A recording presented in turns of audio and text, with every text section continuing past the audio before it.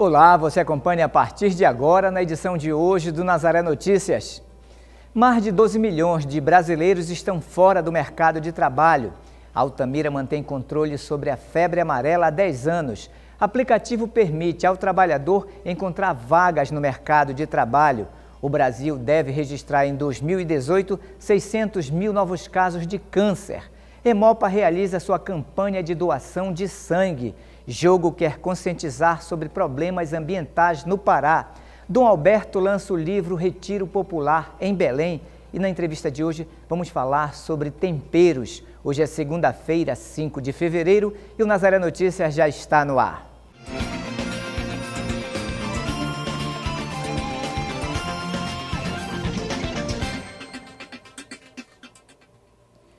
Começamos o Nazaré Notícias de hoje falando de desemprego. Mais de 12 milhões de brasileiros estão fora do mercado de trabalho. Os números divulgados pelo IBGE na última semana apontam para um crescimento no número de empregos, mas ainda é a maior série histórica desde 2012. Se trouxermos para a realidade paraense, o número de desempregados ultrapassa os 500 mil. Maicon é um deles. O jovem de 23 anos está sem emprego há um ano e meio e procura uma vaga na área de atendimento. Eu estou procurando já faz um ano e alguns meses. Estou sempre procurando na área de atendimento e sempre eu estou na expectativa de eu ser chamado. O desemprego é uma realidade de 12,3 milhões de brasileiros. Os números são referentes aos últimos três meses de 2017 e representam um percentual de 11,8% da população do país. De acordo com o IBGE, o número de desempregados diminuiu, o que não significa que a qualidade desses empregos tenha aumentado. Até porque muitos empregos não oferecem carteira assinada. O fenômeno do desemprego ele está público e está notório, né? É uma questão até mundial. E aqui no nosso estado, ela também sofre com isso, pois nós, nosso, nossos principais balcões de emprego é a mineração. Então, quando tem uma crise internacional, ela vai acontecendo um efeito em cadeia. Na capital paraense, alguns órgãos funcionam como centros de captação de currículos. Pessoas em busca de oportunidades podem se cadastrar em balcões de emprego, como o Cine, a Casa do Trabalhador e o Portal do Trabalhador. O Portal do Trabalhador, ele é um mecanismo de intermediação entre o público-alvo, que são as pessoas que procuram o mercado de trabalho, seja ela para se cadastrar no, na IMA, ou seja ela para procurar uma carteira de trabalho com a gente lá. Então, ela é um mecanismo que trabalha de parceria com o público em geral. Eles procuram o, o, o portal do trabalhador e são atendidos. O nosso funcionamento lá é das 8 às 14 horas. Né? Entrega, tem as senhas que são entregues, tudinho. Então, eles vão, a gente cadastra primeiramente no sistema a intermediação de mão de obra, que é a IMO, que tem uma, a equipe que colpita as vagas de trabalho no mercado. Como elas fazem isso? Elas vão é, nas empresas procurar por essas vagas para poder ofertar para quem vai se cadastrar. Tendo as vagas, nós vamos no banco de dados procurar os currículos, ver o perfil de cada pessoa para estar tá encaminhando através do sistema e uma carta junto ao candidato. Tendo o sucesso, a pessoa fica é, na empresa, a empresa devolve a carta para dar baixa ir para a estatística do emprego. Outro segmento que vem crescendo na busca por empregos são os grupos em aplicativos de mensagem e redes sociais onde são divulgadas vagas diversas. É lá que Maico encontra as oportunidades para as quais envia currículo. Eu envio por e-mail, a maioria por e-mail, porque muitas empresas elas querem por e-mail por mais facilidade de fazer a seleção e muitas são de fato currículos presencialmente. Para o coordenador do Portal do Trabalhador, além da capacitação, o que pesa muito na hora de contratar um novo empregado é o tempo de experiência.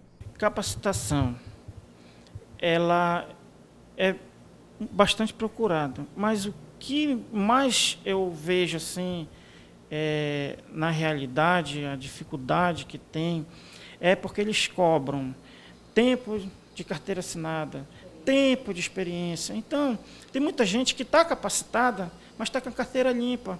Não tem aquele tempo de experiência exigido pela empresa. Então, isso daí torna-se um entrave para que essa pessoa seja inserida no, no mercado de trabalho.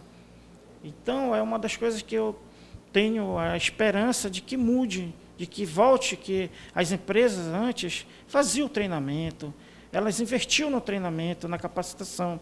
Agora não, elas já querem o empregado capacitado e com tempo de serviço, que é o problema chave para que continue essa situação de cada vez menos pessoas conseguem ter o acesso à carteira assinada. E agora vamos falar de trânsito. Seis motoristas foram flagrados pelo Departamento de Trânsito do Pará dirigindo embriagados nas rodovias do estado do Pará.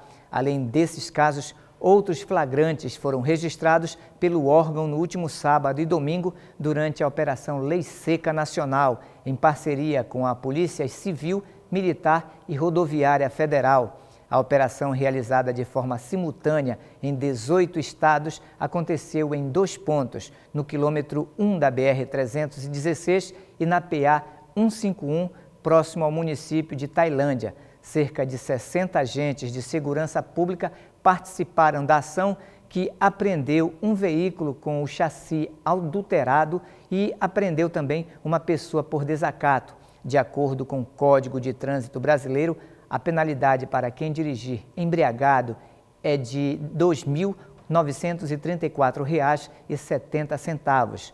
Outra penalidade prevista é a suspensão do direito de dirigir por 12 meses. No caso de reincidência em menos de um ano, a multa será dobrada, chegando a quase 6 mil reais. Será enquadrado por crime o motorista que for flagrado conduzindo veículo com índice de álcool no sangue superior a 0,34 miligramas de álcool por litro de ar ou 6 decigramas por litro de sangue.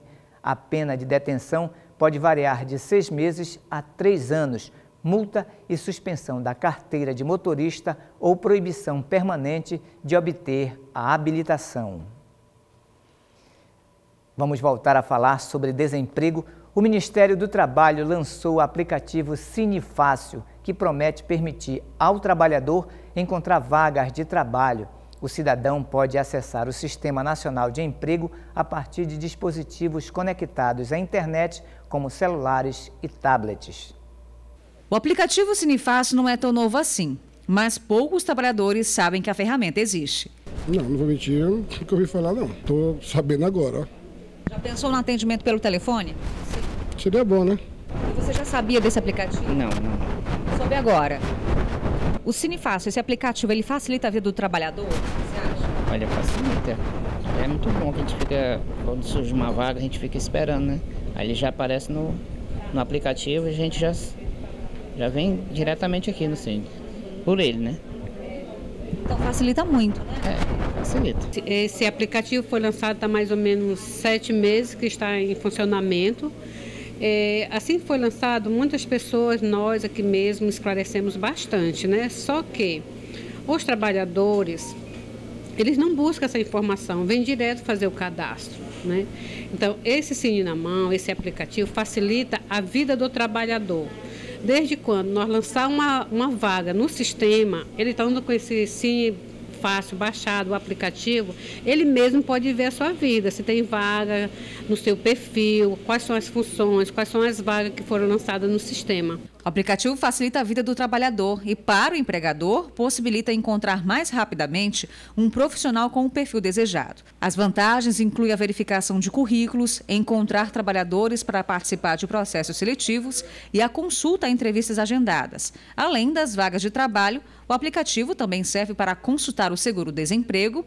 Nessa aba é possível obter informações sobre parcelas, notificações, recursos e vínculos, consulta do abono salarial, informações sobre abono salarial e o PIS, como o calendário de pagamentos e se o trabalhador tem direito ao benefício, Consulta de contratos. Aparecem todos os contratos de trabalho cadastrados do trabalhador. Estes vínculos são extraídos do Cadastro Nacional de Informações Sociais, o CNIS. Para baixar o Cinefácil gratuitamente, acesse a Play Store e pesquise pelo aplicativo Cinefácil. Depois, basta proceder ao processo de instalação. Após conclusão da instalação, que demora apenas alguns segundos, clique no ícone do programa presente na sua lista de aplicativos para iniciar o Cinefácil. Para utilizar o aplicativo, o trabalhador deverá ter um código de acesso obtido na unidade de atendimento do Cine. O código de acesso é individual. O trabalhador deverá digitalizar o código utilizando a câmera fotográfica do celular. A proposta, através do aplicativo, é também diminuir as filas imensas na sede da instituição facilita bastante. Então, se eles procurarem a gente para poder vir, é, na medida que nós fazemos o cadastro do trabalhador, vai gerar é tipo uma digital, não tem uma digital no banco, né? Então, esse QR Code que é lançado aqui é para o trabalhador se atualizar no perfil, buscar vaga, né, que estão precisando. E assim, eles têm que baixar. O nome do aplicativo é Cine Fácil, né? Então baixa, vem aqui, atualiza seu cadastro, a gente tira e eles mesmos podem estar manuseando em busca de vagas. E agora nós vamos falar de alimentação e saúde. Os temperos e condimentos são um sucesso, mas é necessário muito cuidado, principalmente com a dosagem de sódio e açúcar presentes na maioria deles. Para falar sobre esse assunto, Larissa Cristina conversa com a nutricionista Priscila Costa. Não é isso, Larissa? É isso mesmo, Marcos. Na entrevista de hoje, a gente vai aproveitar para entender bem essa diferença entre os condimentos, os temperos, que benefícios eles têm ou que mal podem causar ao nosso organismo. Se você quiser participar da nossa entrevista, desde já envie um WhatsApp para a gente. O nosso número é o 9 8802-3444 para a gente esclarecer aí essas dúvidas. Aqui ao meu lado está Priscila Costa, ela é nutricionista. Participe com a gente. Vamos primeiro entender, Priscila, essa diferença. O que, que é um tempero, o que, que é um condimento, para que as pessoas entendam. Bom, tempero é tudo aquilo que é natural, que vem, que é 100% natural, que você pode colocar na, na sua alimentação, comprando o produto in natura. E o condimento já são aqueles industrializados, que já tem misturas, que tem muito sódio e não tem valor nutricional algum. Essa que é a diferença dos dois, entendeu? Então, o, no caso, o condimento, ele tem uma quantidade maior de sódio, de gordura, e ele acaba dando um aumento muito grande no sabor e acaba causando dependência para esses consumidores, que são esses excessos mesmo, que a pessoa começa a usar um pacotinho que tem 2 gramas de sódio e daí ela vai aumentando com a palatabilidade aumentando sempre, multiplicando mais. É, quando se trata de sabor, aquela pessoa começa a se adaptar com aquilo e aí coloca o condimento, ainda tem gente que acrescenta mais o sal, que é o perigo para esses para essas pessoas que têm problemas com hipertensão. Justamente esses prejuízos que esses condimentos vão trazer para a gente, quais são os principais? Pois é, além de aumentar a gordura, né, que a pessoa acaba fazendo com excesso a retenção de líquido. Aí ela acaba também tendo, principalmente quem tem problema de gastrite, mexe muito com a questão do estômago, dá um desconforto absurdo. E as pessoas que têm problema com hipertensão, problemas cardíacos, não podem nem passar próximo desse tipo de de produto, no caso de condimento, usem os naturais, porque eles não vão aumentar a sua pressão arterial. A gente tem que começar a entender que a gente precisa se desintoxicar dessas coisas, porque quanto mais se usa, mais a gente fica nesse vício, aumentando sempre o número de aumentando a quantidade do sal ou do sódio. Como você mencionou, as pessoas elas têm, elas acabam adquirindo um vício por, é, por esse sabor mais forte. Se ela quiser ir substituindo, ela não pode de uma vez para outra acabar com o sal, que ela não vai conseguir comer. Mas existe, por exemplo, uma alternativa para o sal nos alimentos? Não, existe sim. Na verdade, a gente precisa muito do sal O nosso corpo necessita dessa quantidade. Tem gente que vai na minha clínica e fala assim, olha, doutor, eu cortei o sal 100%. Gente, não façam isso. O nosso corpo ele precisa do sal. Até porque se você retirar ele, ele ativa um hormônio que ele acaba que ao invés dele te deixar com é, com teu corpo com bom funcionamento, ele acaba retendo. E é até pior retirar completamente o sal. A gente precisa utilizar 5 gramas de, de, de sal, ou de sódio no caso, de 2 a 5 gramas diárias, sendo que num pacotinho desse de condimento, você acaba usando em um único tablete a quantidade diária que você deveria ingerir. Então, se libertando disso, desses excessos, a gente acaba voltando a sentir o sabor natural da comida. Né? A gente precisa entender que a gente precisa desse, desse sal, mas não do excesso de sódio.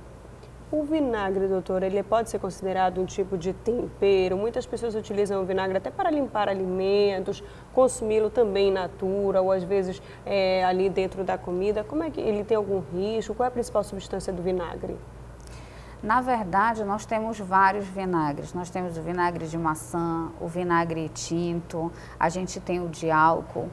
As pessoas usam para lavar os alimentos, isso é muito bom, afina o sangue. Ele também serve como um antioxidante, ele melhora também na quantidade, ele melhora a, a quantidade de.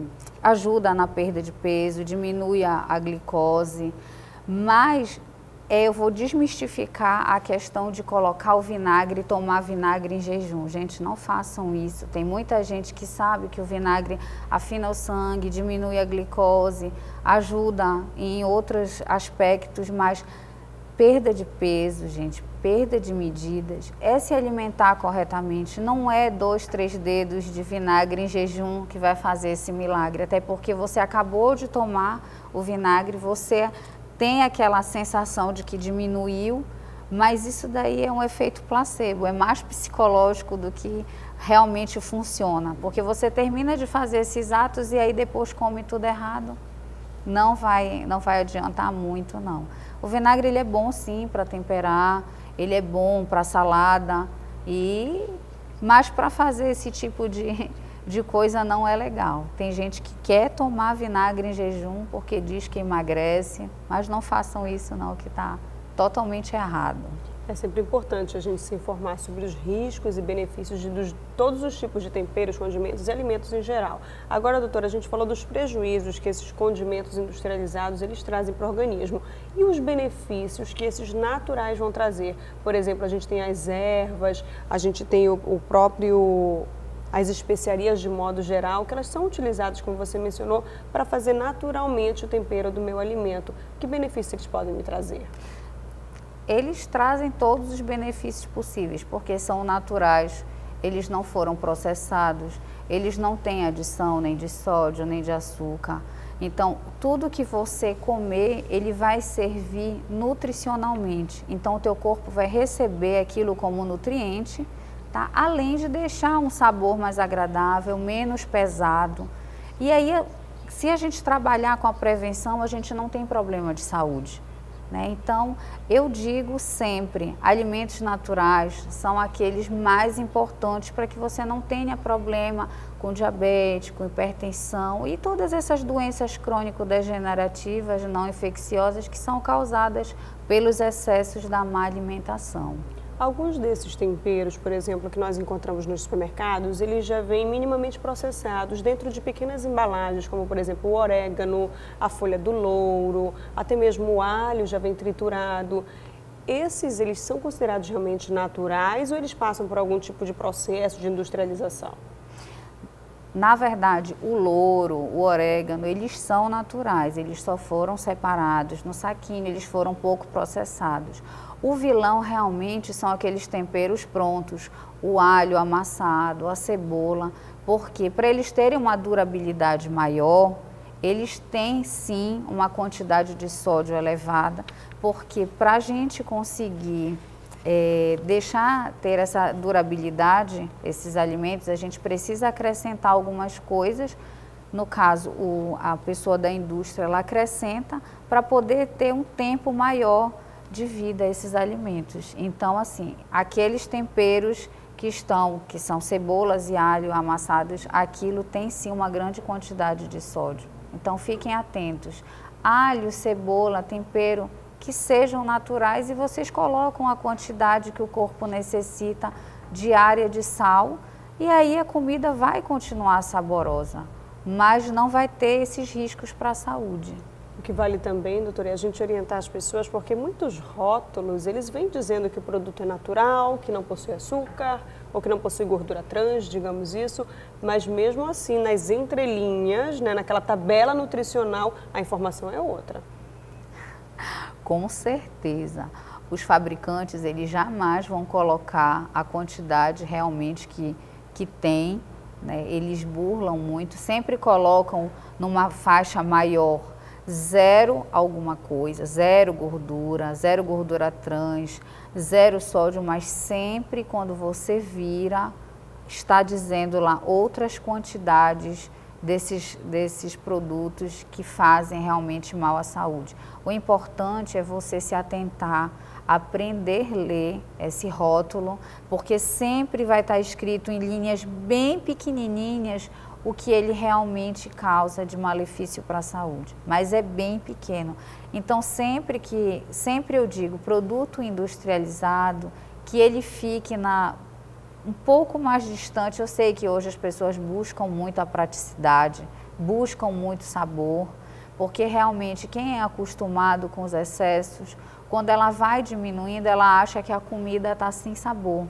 Mas não, isso daí é costume mesmo. A nossa culinária, ela é, tem muitos excessos. A gente já tem uma um, nossos alimentos, eles já são ricos em gordura, eles são pesados. E se a gente acrescentar mais, esse, esses sim vão ser os vilões da saúde.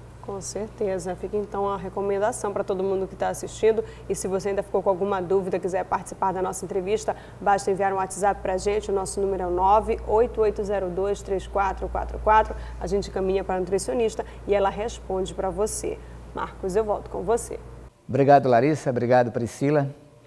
Uma reunião entre a Prefeitura de Belém, o Ministério Público e representantes de 11 municípios paraenses discutiu a questão da superlotação do atendimento de urgência da capital paraense por causa dos pacientes oriundos do interior do estado. 70% dos pacientes atendidos na rede pública de saúde de Belém vêm do interior do estado.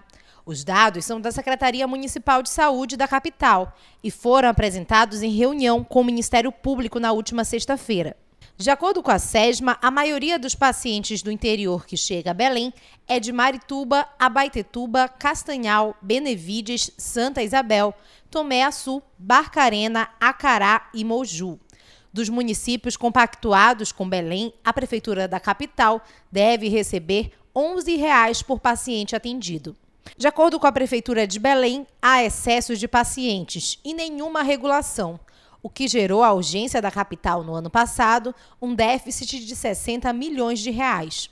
Os órgãos trabalham na implantação do Sistema de Regulação Oficial, o SISREG, ligado ao Ministério da Saúde, que já é adotado por Belém e que é disponibilizado para os outros municípios. Em reunião na última sexta, os municípios que mais enviam pacientes a Belém se comprometeram a cumprir o acordo e realizar os repasses destinados ao atendimento destes pacientes. E vamos voltar a falar sobre saúde. Diferentes de outras cidades do país onde estão ocorrendo surtos de febre amarela e causando pânico na população, Altamira está há 10 anos sem registro de casos da doença. Foi o que divulgou a Secretaria de Saúde do município. Em Altamira não há registros de casos confirmados da doença há mais de 10 anos. Apesar dos casos de febre amarela na região sudeste do Brasil ligar o alerta dos brasileiros, Altamira se mantém sem nenhum registro. Cerca de 2.500 a 5.000 doses da vacina, dependendo da demanda do mês, são disponibilizadas para atender zona urbana e rural.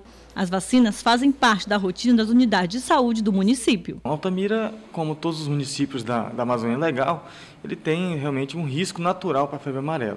Porém, em todo o estado do Pará, já há mais de 10 anos que não se registra casos positivos de febre amarela em humanos. Né? Nós temos mantido a cobertura, uma boa cobertura vacinal ao longo dos anos. Mantemos também a vigilância da morte de primatas não humanos, né, da morte de macacos. Né, e isso daí vem contribuindo para que não se notifique, não, não apareçam os casos em humanos. Né? Então, a população de toda a região, não só de Altamira, mas de toda a região, pode ficar tranquilizada que não ocorre risco de surto de doenças aqui no, na nossa região, muito menos no município, né? devido principalmente a isso, a, cobertura vacinal, que é uma, vem se mantendo uma cobertura adequada, e a vigilância epidemiológica das secretarias municipais de saúde, que vem atuando de maneira satisfatória nessa área. A febre amarela é uma doença infecciosa grave, causada por um vírus e transmitida por vetores. Geralmente, quem contrai este vírus não chega a apresentar sintomas. As primeiras manifestações da doença são repentinas: febre alta, calafrios, cansaço, dor de cabeça, dor muscular, náuseas e vômitos por cerca de três dias. No estado do Pará, no ano passado, foram registradas 338 mortes de primatas, mas o município, felizmente, nenhum resultado foi positivo para o vírus da febre amarela. Portanto, aqui em Altamira não há motivo de preocupações. Mesmo diante dos dados positivos, a Secretaria de Saúde de Altamira tem reforçado junto à população a importância da vacinação contra a doença, para quem ainda não foi vacinado. De acordo com o enfermeiro Ney Carvalho, coordenador municipal de saúde, a imunização é a principal forma de prevenção e está disponível durante todo o ano em todas as unidades de saúde do município e também da zona rural. Hoje, a vacina contra a febre amarela consiste em apenas uma dose que imuniza para o resto da vida. Então, a pessoa que, ah, que precisa realmente se vacinar são somente as crianças de nove meses a menores de dois anos que não, não foram vacinadas, ou aquelas pessoas não vacinadas que comprovadamente irão se deslocar para áreas onde está ocorrendo o surto da doença. Hoje nós temos o estoque disponível né, em, toda, em toda a rede básica, não existe falta da vacina, então a população que não foi não, não vacinada, as pessoas que têm necessidade de tomar a vacina podem se dirigir a qualquer unidade de saúde, né, levando a sua caderneta de vacinação e terá a vacina de acordo com o seu calendário vacinal. E ainda sobre saúde, o Brasil deve registrar em 2018 600 mil novos casos de câncer. A informação é da publicação Estimativa 2018, Incidência de Câncer no Brasil, divulgada pelo Instituto Nacional do Câncer o INCA e o Ministério da Saúde neste final de semana. De acordo com a publicação do INCA, o câncer de pele não melanoma deve ser o tipo mais incidente em ambos os sexos no biênio 2018-2019. São estimados 165.580 novos casos deste tipo de tumor. Depois do de pele não melanoma, os 10 tipos de câncer mais incidentes no Brasil serão de próstata, mama feminina, cólon e reto, mais conhecido como câncer de intestino, pulmão, estômago, colo do útero, cavidade oral, sistema nervoso central, leucemias e, por último, câncer de esôfago. Segundo o estudo, o perfil da doença no país espelha a profunda desigualdade socioeconômica brasileira. Entre os mais privilegiados, os tumores mais comuns são aqueles que também são registrados nos países desenvolvidos do Ocidente. Entre as pessoas mais pobres, as doenças estão ligadas a infecções e outras situações relativas ao subdesenvolvimento.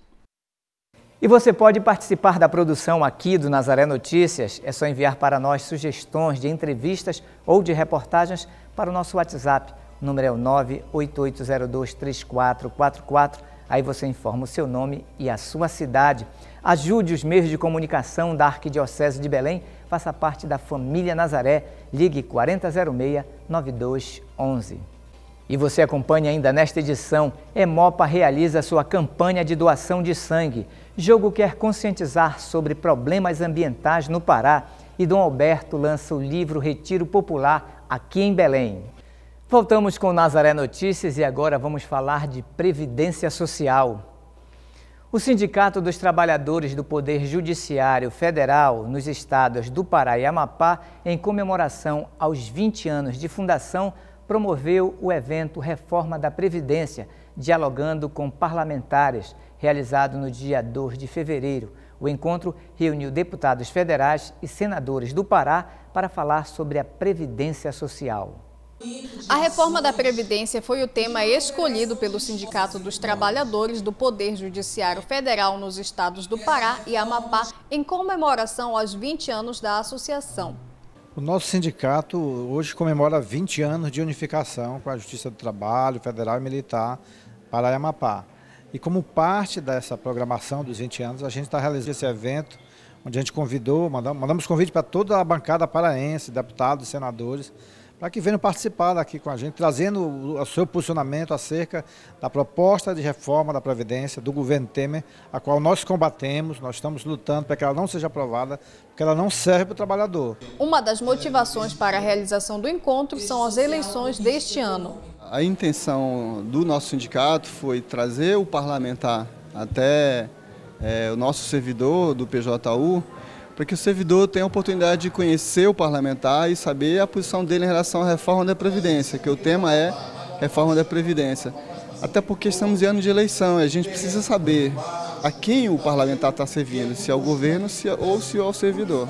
A proposta do evento foi levantar discussões sobre a reforma da Previdência, reunindo público e parlamentares para falar acerca das preocupações sobre o assunto. É chamar a atenção por que essa pressa e por que fazer uma reforma da Previdência desse jeito.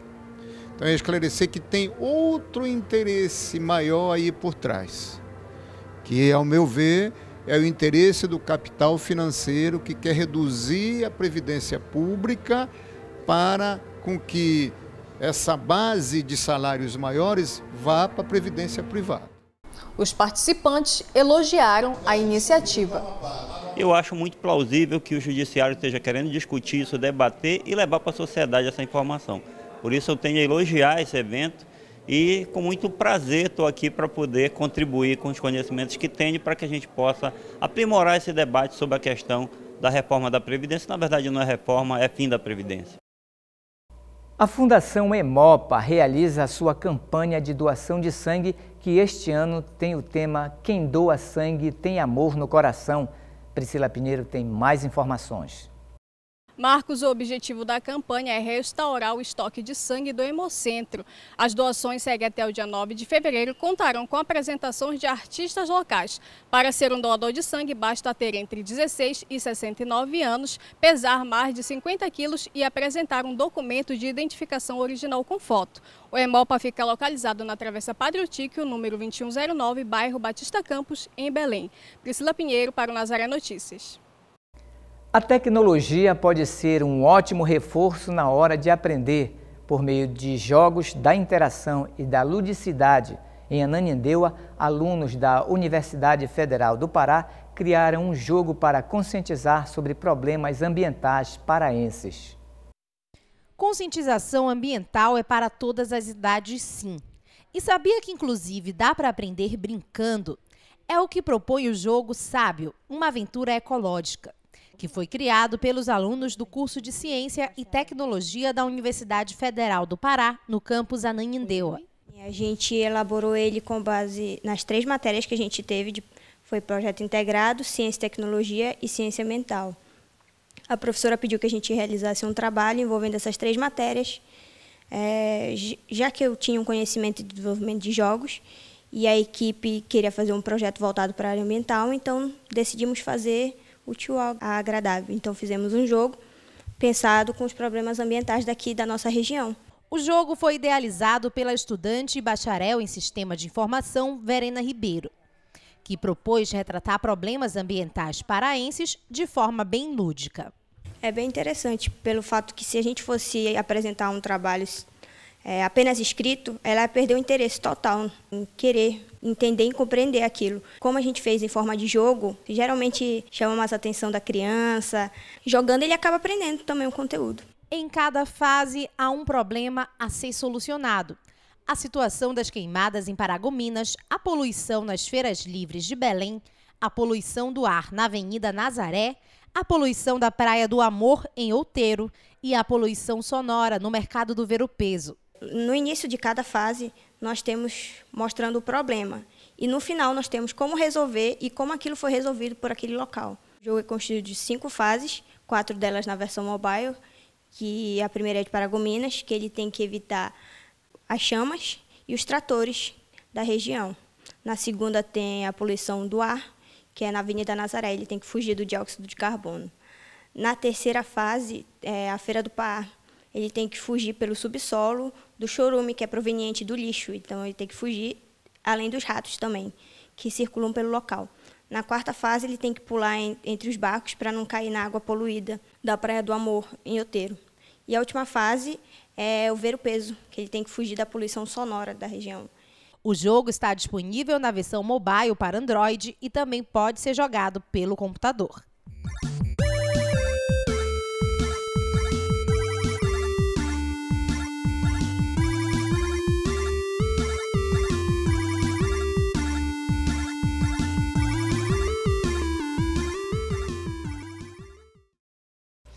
A Secretaria de Estado de Segurança Pública do Pará realizará o plano de segurança para os 137 municípios do Pará que tradicionalmente recebe grande fluxo de pessoas durante as festas do período do Carnaval. De acordo com a Segup, na Operação Carnaval 2018 terão cerca de 6 mil agentes de segurança atuando nos municípios paraenses, mas principalmente em Cametá, Vigia, Abaitetuba, Óbidos, Bragança, São Caetano de Odivelas, Curuçá, Colares, Tucuruí, além dos distritos de Mosqueiro, Outeiro e Icoraci. O esquema operacional será posto em ação de 9 a 15 de fevereiro e tem a finalidade de prevenir a criminalidade e as mortes no trânsito e ainda a preservação do patrimônio histórico dos municípios, como igrejas e outros espaços públicos. Em Belém, o comando da Polícia Militar planejou o reforço do policiamento em decorrência do feriado e da maior visitação a pontos turísticos e outros espaços de lazer, como o Portal da Amazônia, o Mercado do Vero Peso, a Estação das Docas, a Basílica Santuário de Nazaré e o Mangal das Garças. A Segup manterá todas as operações de segurança nesse período, como a lei seca, barreira, duas rodas, estradas e guarda-vidas. Faleceu na última sexta-feira um dos grandes colaboradores do jornal Voz de Nazaré, o cartunista André Abreu. Ele colaborava aqui com o jornal Voz de Nazaré. André foi vítima da violência que assola a cidade. André Abreu era natural de Belém, cartunista, ilustrador e chargista. Era colaborador do jornal Voz de Nazaré e participou de salões de humor no Brasil e no exterior. O chargista buscava expressar em suas criações reflexões sobre o meio ambiente quando criticava as ações humanas para o aquecimento global. Desenhava sobre a dependência das redes sociais e aplicativos na atualidade. Utilizava a ironia para abordar assuntos cotidianos da cidade, além de mostrar temas como religião e política através das artes. O SESI abriu inscrições para o cursinho pré-vestibular 2018 aqui em Belém e Ananindeua. As vagas são voltadas para trabalhadores da indústria e seus dependentes. Marcos, são 40 vagas para Belém e 40 vagas para Ananindeua. Os interessados no pré-vestibular SESI Pará devem se inscrever até o dia 23 de março na Gerência de Educação do SESI, que fica na Avenida Quintino Bocaiúva, em Belém, ou no SESI de Ananindeua, que fica localizado na Avenida Cláudio Sandres. Priscila Pinheiro para o Nazaré Notícias. E ainda falando sobre educação, a Universidade Federal Rural da Amazônia, aqui em Belém, ofertará cursinho preparatório gratuito para alunos que irão fazer o Exame Nacional do Ensino Médio, porém com conteúdo repassado todo em Libras, a língua brasileira de sinais. O projeto ofertará 25 vagas e recebe inscrições a partir de hoje até sexta-feira, das 8 às 11h30. As matrículas devem ser efetuadas no bloco do curso de Letras Libras da UFRA. As aulas vão de março a outubro no campus da UFRA, aqui em Belém, no prédio de Letras Libras. O início das aulas está previsto para 5 de março.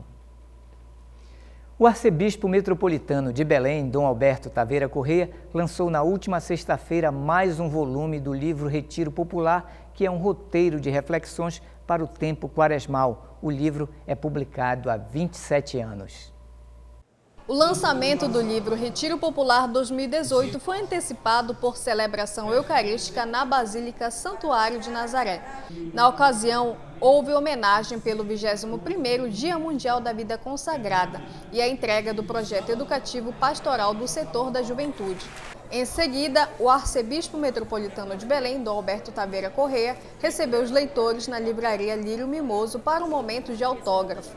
Cada ano eu tenho tido a alegria de preparar esse texto de um retiro popular. Significa oferecer a todas as pessoas que querem viver bem a sua quaresma um roteiro de oração a partir da palavra de Deus. Graças a Deus, este livro do Retiro Popular, cujo título neste ano é Eis-me Aqui, são 27 anos, cada ano eu faço com um tema e com textos diferentes ele tem proporcionado a tanta gente a vivência da preparação para a Páscoa. E eu quero agradecer a Deus por isso e desejar que muitas pessoas tenham acesso a este texto do Retiro Popular para a vivência da Quaresma. São orientações para a preparação à Páscoa. O Retiro Popular 2018 tem como tema Esme Aqui e pretende levar ao público um diálogo entre Deus e seu povo. A obra também é uma forma de evangelização, além de ser também um instrumento de conversão. Dona Maria, que adquiriu o livro, diz que a obra auxilia na evangelização da família. É muito importante fazer esse momento de preparação é, pessoal, familiar e conjugal. Recomendo a todos. O Retiro Popular 2018 é também uma ótima opção de presente. Gosto sim, sempre de estar lendo. E vou também promover para dar de presente para várias pessoas que gostam muito de ler. O Retiro Popular 2018, Esme Aqui, é uma proposta aos cristãos para que possam viver bem o período da quaresma. O volume está disponível nas lojas Lírio Mimoso e na Fundação Nazaré de Comunicação. E essas foram as notícias de hoje. Para dar sugestões de entrevistas ou de reportagens, você pode enviar para o nosso WhatsApp, número é o 988023444. Mas se você quiser rever nossas reportagens, acesse o portal Nazaré www.fundacionazaré.com.br ou acesse a nossa página no Facebook. Ajude os meios de comunicação da Arquidiocese de Belém, faça parte da família Nazaré, ligue 4006-9211. O Nazaré Notícias de hoje fica por aqui, nos encontraremos amanhã na próxima edição. Até lá!